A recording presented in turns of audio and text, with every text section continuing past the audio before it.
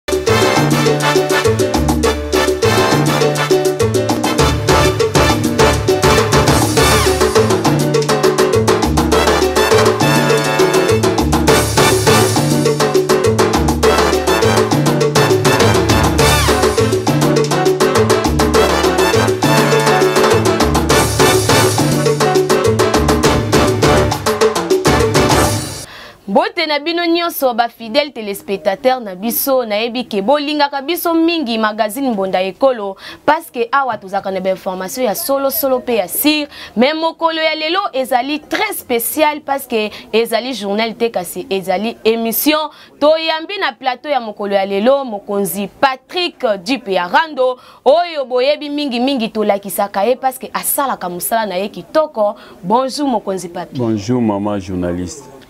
awa toye na kati ya mboka na yo toye na kati ya quartier biyela toye kotala lolenge nini mosala ezali kosalema awa na kati ya quartier oyo Mokonzi Papi, est-ce que okoki koyebisa biso soki ozali nani, ozali commandant, ozali colonel, ozali policier, ozali nani soki okoki ko s'adresser na population na yo. Merci beaucoup maman journaliste. Nga naza sous commissaire adjoint de la police nationale. Nazo kamama nazo kamama na district ya Tsangu. Toza na commissariat ya Kimbatseke 2. Mokonzi na ngai ya Kimbatseke 2 le commissaire supérieur adjoint lofimpa mukoko visa nde mokonzi na ngai ye wana oyo mpenza nde atinda ngai awa mpo na kosala mosala parce que sécurité ezalaki kotuna biyela bachef du quartier bandaki kolela euh, nabandaki na wenza braza j'espère boyebi nde bakonzi batali niveau nazosalela mosala fo balukela place ya ngai moko bapesa ngai donc kuna titulaire na ngai azalaki capitaine ngai azalaki ya second na ye nde bakonzi badeside toyei kofongola sociati oyo ya biyela sociati biyela diparando toyei kokuta ata materiel moko te toyei kokuta nde zamba awa zamba nde ntango na ye bachef du quartier balakisi nga place ono fo batonga awa bon tozelaki mpe mwa bapui na bango eye te mwa ndambo bazalaki na yango 80000 euh, francs basungaki biso mpe quand même oyo etikali biso moko todebrie donc euh, tobeti biro omoni esili na makasi ya leta ye moko yango moi na remercie bino mpe nde boye merci beaucoup merci beaucoup mokonzi tomoni yo oye na biro ya sika na mpe na quartier ya sika euh, est ce que mosala awa ezali kosalema ndenge nini okoki koexplike biso merci maman journaliste mosala ezosalama bien malgré badifficulté mosusu ezali mosala ezosalama bien euh, kote nyonso oyo batindaka moto komekana ezangaka te parce que kote okindoki eza makasi euh, moyibi eza makasi crime babandi baza makasi awa ozomona na biyela oyo donc ezalaki te ke bato batambola o oh, moto aleka boye rien lupango eza euh, pembeni na biso awa baza victime oyo witi witi oyo nawutaki kokanga général wana akotelaki bato akotelaki bango na ndako aviole mama aviole bana basi misato papa na bango abima bazwi libende abeti ye na mutu me koyanga nayaki ntango nazwi plainte wana nasalaki effort nakangi witi witi jespere botalaki na bamedia boyaki ya bino bajournaliste boyaki bozwaki baimage bakonzi mpe bamonaki mosala odiparando azosala na kati ya biyela merci beaucoup merci beaucoup kaka nde boza kolanda tozali ensemble na papi di parando oyo azali komanda koto na susiati ya biyela komanda papi eske okoki koyebisa biso lolenge nini oza koidentifie bakulu na koto parce que eza quartier ya sika eske eza na bato oyo bapesaka yo mpe bainformation par rapport ya bakuluna wana oui ntango toyaki sika tozalaki ya collaboration na population population esepelaki ndenge polisi eye basepelaki mpenza makasi basepeli babi lokola polisi eye boye fo tofungola eza mpe na bato mosusu bayeki comme beformateur baza complicité ayawa na la polisi azwi befo akepesa bango naye koetidie papapa nandi kolandela bango nakangi bango kokanga nakangi bango napesi yo pj asambisa bango baye kofungwama ono biso nde tolandi bapesa bainformation me bato oyo bazalaka place tele yango moyende tokangi leo bagénéral zuzu omona tokangi bagénéral pakasa ozomona ke tokangi bagénéral mosusu ebele ebele bagénéral 88 toza na général mosusu aza wana baobenga ye eh, monstre d'amour aza wana tokangi bango ndenge nini mpo na kokanga bango koya na bango ezalaka lipa na nguba te mabanga ebetamaka makambo ebele ebele elekaka mabanga ebetamaka bamenasaka polise me na befort nyonso polise asalaka nde totiaka bango maboko merci beaucoup commanda patrick est ce que okoki koyebisa biso la polisi mpe azalaka na euh, oyo tobengaka secret est ce que soki moto alakisi yo par exemple ke namoni bakuluna quelque part parce que toza komona yango mingi bakuluna ebele na niveau ya la polise bakokanga ye mpe après balibere est ce que bino mpe bozalaka na mwa fiabilité wana ya kogarde un peu source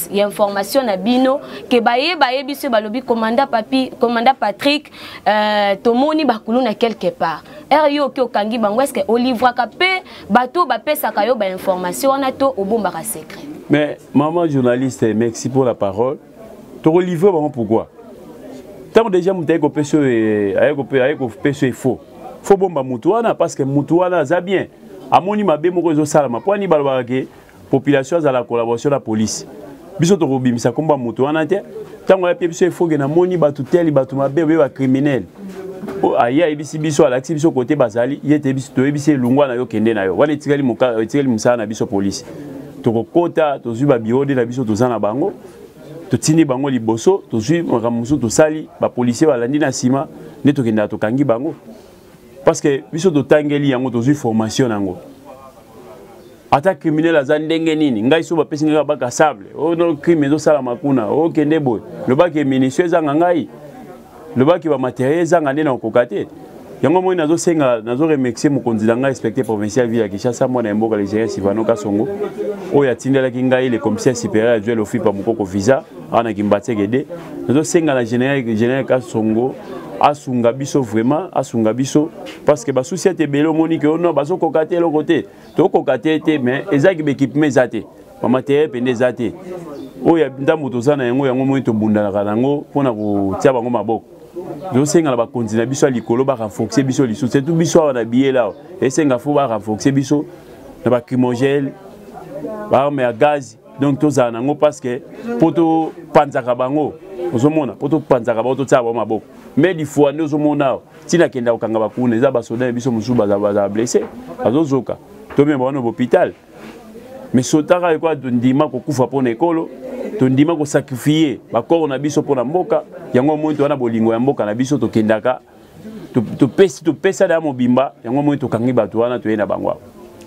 Merci beaucoup ba fidèles téléspectateurs botikala toujours branché parce que toza toujours ensemble na commandant Patrick Dupoyarando mais kasi toza ko se retrouver quelques minutes après toza ko senga na niveau ya, ya régie na biso bayeba kobalanse biso spot publicitaire balobi masolo ya voyage na kinshasa mpe na mokili mobimba ezali kaka na agence moko quick travel visa toza kosenga na mwana mboka igrid mateta soki akoki kobalanse biso spot oyo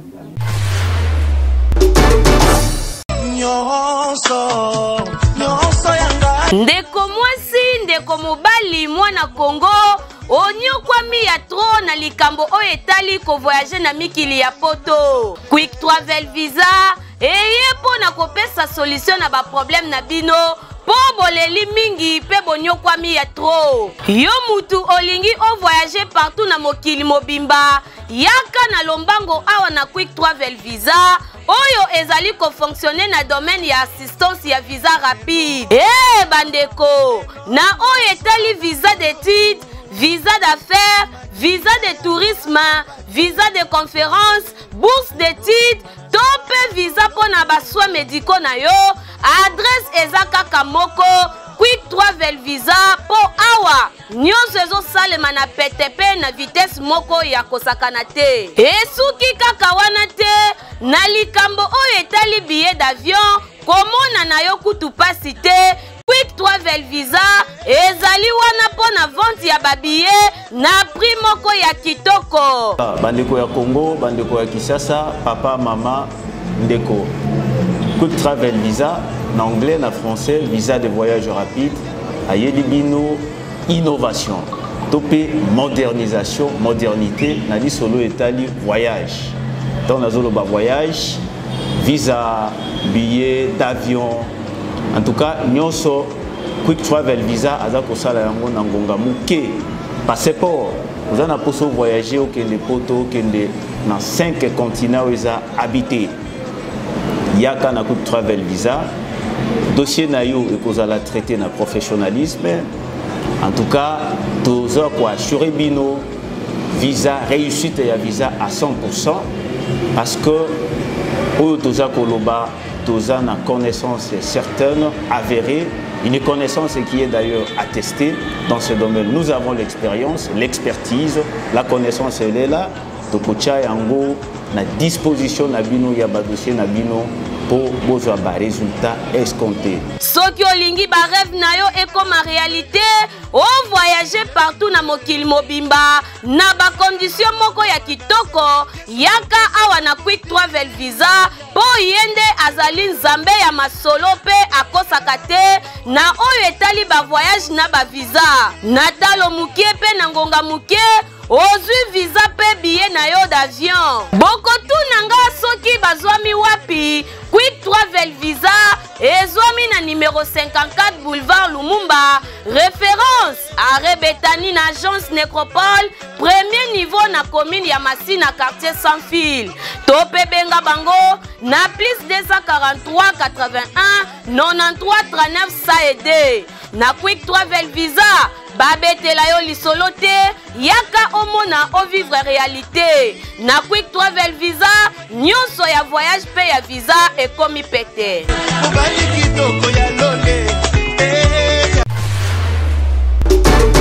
lisusu na plateau na biso toza kocontinue toujours na sujet na biso ya mokolo ya lelo toza kolobela toujours si insécurité oyo eza kosalema na ville province ya kinshasa mpe lelo toza na quartier biyela na commune ya kimbanseke epai ya ye moko komanda patrick jipi arando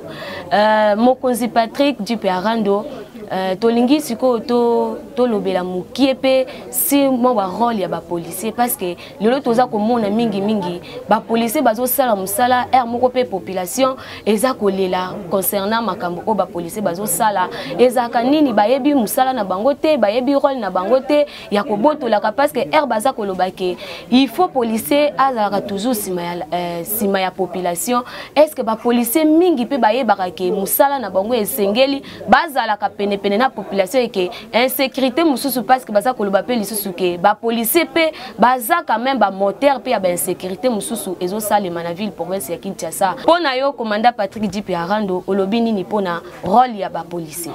merci mama journaliste merci na motuna na yo otuni motuna moko eza kitoko motuna oyo otuni eza bato baza mingi te batunaka mituna wana mission na biso polise eza mpona kobatela civile na babie na ye na biloko na ye bato ebele meme si inspecteur na biso provincial mwana ya mboka le général sivano kasongo abetaka sete alobaka tala foto ya mwasi na yo na bana na yo mpo na nini alobaka bongo sodo aza forme sodo aza discipline mpo discipline yango wana nde soda nyonso azwi formation fo aza na discipline ntango mokonzi no atindi oyo abike kende kokanga moto mokonzi atindaka te kekende eyiba biloko ya bato mokonzi atindaka te kekende botola j'espère epai na ngai awa nde naza na basoda awa soki kaka plenier aye kofunda ba ntango bake kuna moto wana ye ono oh babotolaki ngai mbongo be telefone j'espère nazokanga bango nakanga ngai na sesa wama seki te mpo toyei kokuta biso nyonso na se ya drapeau mwana moto aza te eza nde mosala nde esangisi biso na sa drapo bakonzi bazotelemela trakasei bakonzi bazotelemela kobotola biloko ya bato bakonzi bazotelemela koyiba mpo polisi ayibaka te lelo tokomi na etat de droit mwana mboka président république atelemelaki makambo wana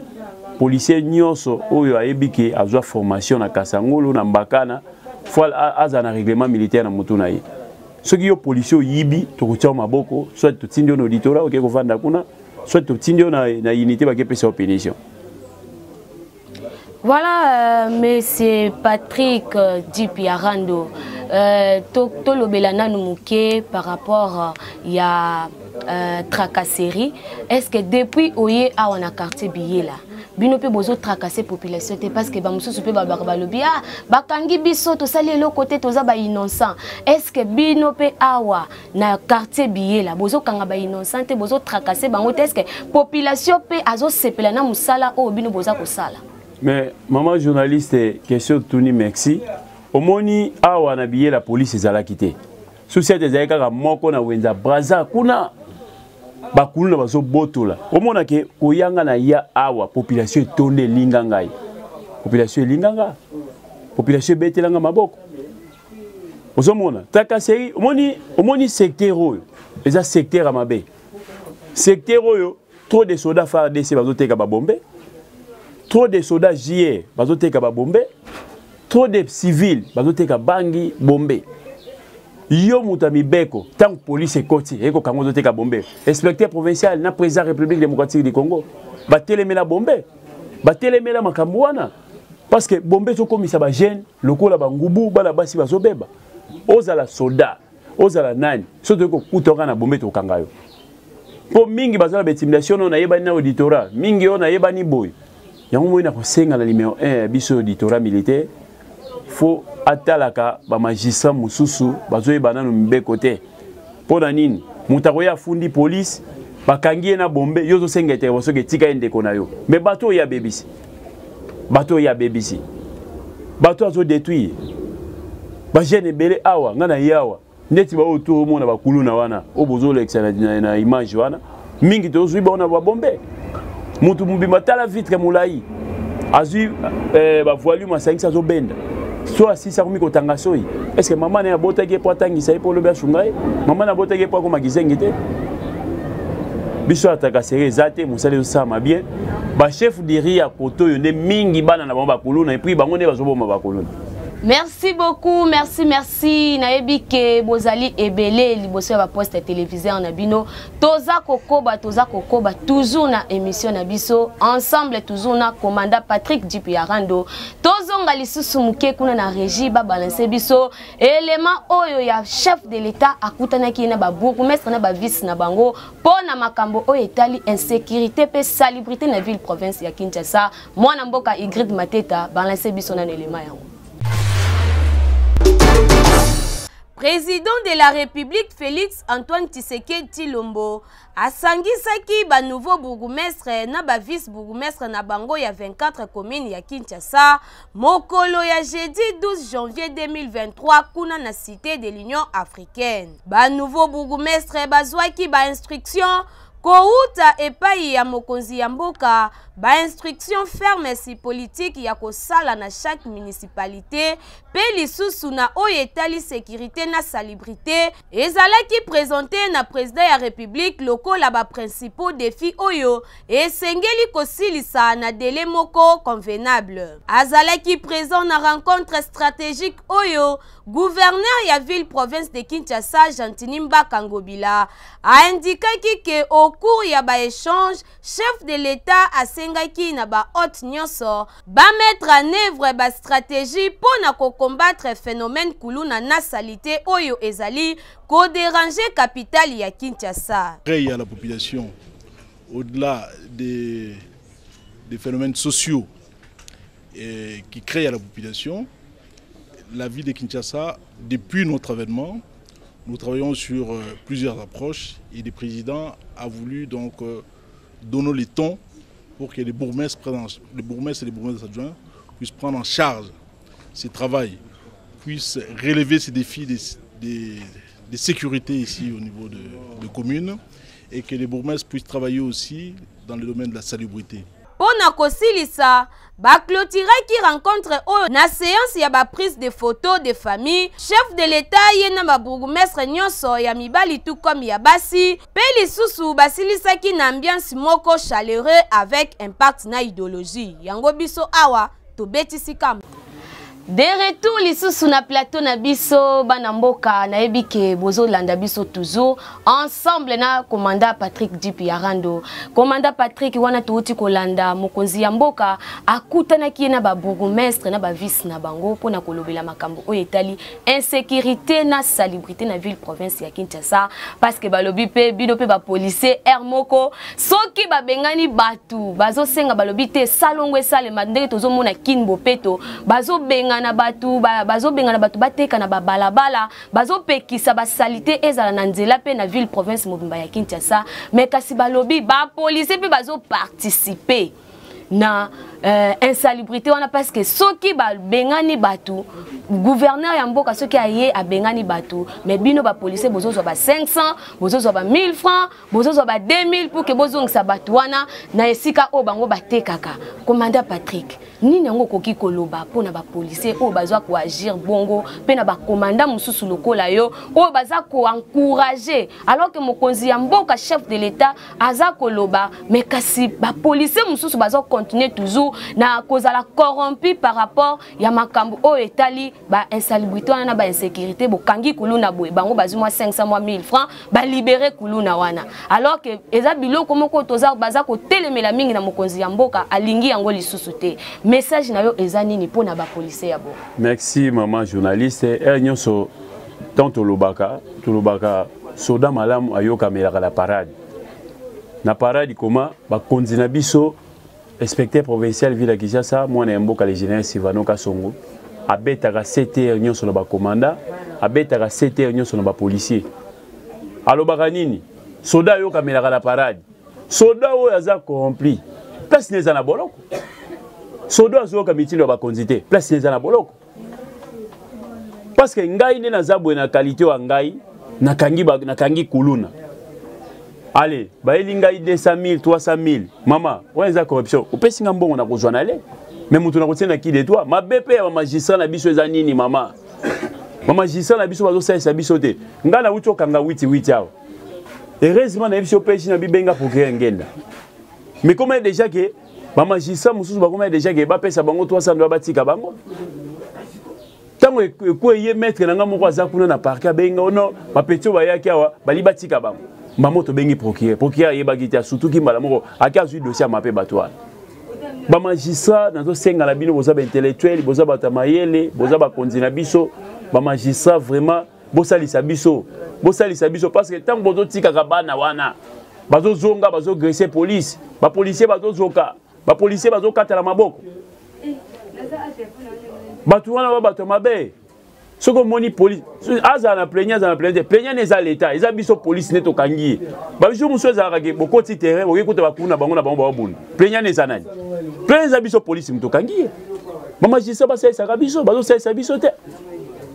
hein combien de fois nga nazotinda bakuluna bakwede nakangi bakwede awa baza na parquet parquet alingaki etika bango procureur kaka na makasi ya procureur ah, basengi map bamagistrat bazonyokola biso nazosengela bamagistrat boza bato ya mayele boza baintellectuel vraiment bosunga polisi vraiment bosunga polisi mpo mboka ebonga chef de l'état alobi ke bakuna basila kuna yango ekosila ndeni soki bozobwakaka bango na prison makala bozokondanaka bango plenia plenia azala azala te plaignant eza leta bokondane avandi kuna ata 20 ans mokolo akobimaka akozonga mutu akozonga mutu awa totikali na mission awa tokanga général pakasa totikali na mission awa tokanga eh, oyo oh, nani dizo général dizo oyo azonyokola bana biyela baroi mosusu da tokangi bango etikali bango tokokanga bo mpe tokobenga bino na televizio ke botala mosala odi parando azosala petit à petit toza kokende na suka ya émission na biso boyeba ke tobandaki kolobela insécurité na ville province ya kinshasa mpe awa tozali na quartier biyela mokonzi patrick di parando monini yango ya suka okoki koyebisa na population na yo en résumé ya nyonso oyo touti koloba na plateau oyo message nini okopesa na population mpe na bakonzi nyonso oyo baza kolanda yo Merci beaucoup maman journaliste. Nakoyebisa kaka bana biyela euh, bazala collaboration nde baza collaboration na diparando bazala collaboration na police donc balimero na ngai napesaki déjà mpe nakorepete lisusu kopesa yango mpo bakonzi na ngai mpe oyo bazalaka na yango te bazwa yango na population donc euh, nasengi na bana biyela bazala bapesa polise respect babanga polise oyo eza ezobatela bango parce que balelaki mbula na mbula polise eyaka te eh, komanda ya distrike na biso ya ntango die donne kangambila ayoki mawa apesi ordre kota le commissaire supérieur ya duel ofimpa mokoko visa mwana ya mboka visa ayebisi ye alobi ke kende kuna luka ba moyen tia eh, sociate wana sociate mpe toyaki toinstalle nasali mpe baeffort oyo nange nasala sociate yango etelemi mpe bakomi na kimia donc eh, population bobanga polisi oyo batieli bino awa soki bowana likambo bodute te boya awa 24 se 24 biso toza wana limero na ngai ezali 0900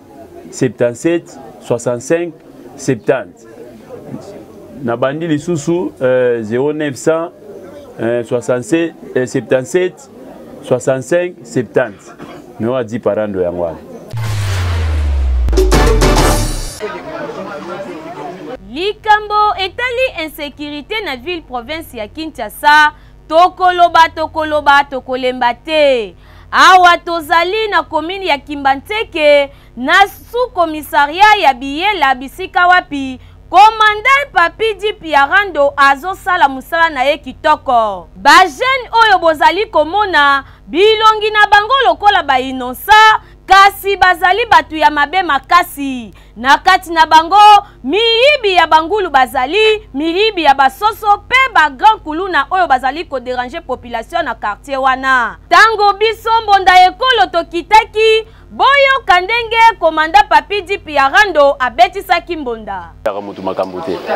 Ngai bakonzi badesidaki batinda ngai awa mpo natia kimia parce que koto eza na insecurite makasi. kuluna eleki crime eleki ba criminel nde inspecteur provincial ya ville ya kinshasa mwana ya mboka le général sivano kasongo abetaki sete mpo na crime esila na kati ya mabele ya province ville de kinshasa awa toza na susiati biyela euh, oyo ezodependre epai na ngai moko di parando d'abord nous allons remercier eh, commandant district na biso dieu donné kangambila na remercie lisusu mokonzi na ngai oyo atinda ngai awa le commissaire supérieur adjoint lofipa mokoko visa mpo na courage oyo apesaka ngai mpo na kotrake baindividu oyo oyo ozomona oyo omona moto ya mandefu oyo moto ya mandefu oyo ozomona oyo moyibi ya bangulu donc ngulu eleka te baza mibale na oyo donc ngulu eleka te j'espère okotuna bango bayebisa yo chef na bango atina bango bayiba bangulu aza wapi parce que ayebisi ngai na mokonzi tokobomba te tokoloba verité moto atina biso toyiba bangula bato akimi ngai na kodefendre mabele ya bakoko na ngai omoni congo drapeau tolati elingi kolakisa symbole ya mboka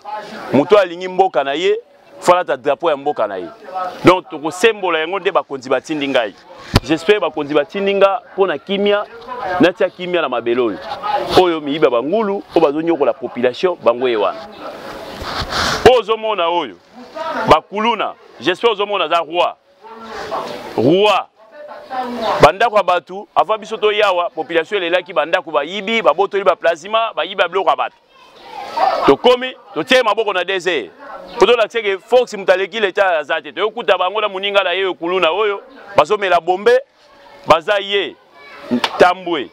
eh, zuzu zuzu nde yeyo tozwi la général zuzu yeyo population ya quartier biyela basepelaki ndenge komanda dipi ya rando akangi baincivique oyo baza konyokola bango kuna boyoka bango mpe ndenge balobaki en tout cas naza na esengo makasi naza esengo makasi mpenza ya kosakana te mpe naza mwasi na bango mpe nasepeli na mosala oyo basaleli ngai kozwa bato oyo tomitungisi banda noel eti lelo tosepeli makasi nde tozwi bango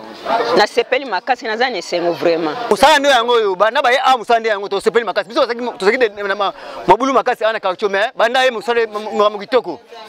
komanda papi dip ya rando continue mosala na yo kitoko paske esengaka nde boye Policier il faut azala toujours pene pene na population mpo na koassure sekirite na ye yango biso tozosenga kaka na general silvano kasongo ayeba na korenforce sekirite na ville province ya kinshasa pour ke bato ya modele ya boye Bayeba lisusu na ko deranger population te. Yango biso awa tobetisi ka mbonda.